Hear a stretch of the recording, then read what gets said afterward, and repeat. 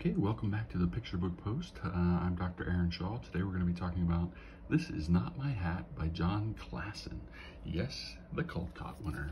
Okay.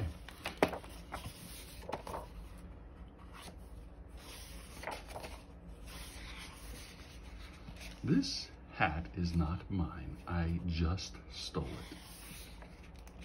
I stole it from a big fish. He was asleep when I did it and he probably won't wake up for a long time. And even if he does wake up, he probably won't notice that it's gone. And even if he does notice that it's gone, he probably won't know it was me who took it. And even if he does guess it was me, he won't know where I'm going. But I will tell you where I'm going. I'm going where the plants grow big and tall and close together. It is very hard to see in there. Nobody will ever find me.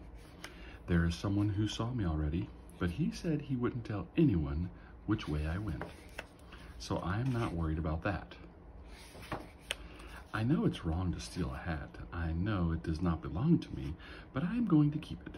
It was too small for him anyway. It fits me just right. And look, I made it, where the plants are big and tall and close together.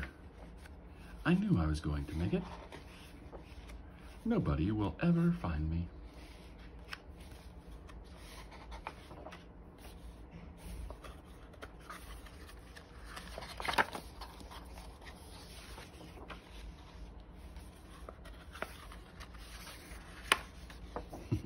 the end.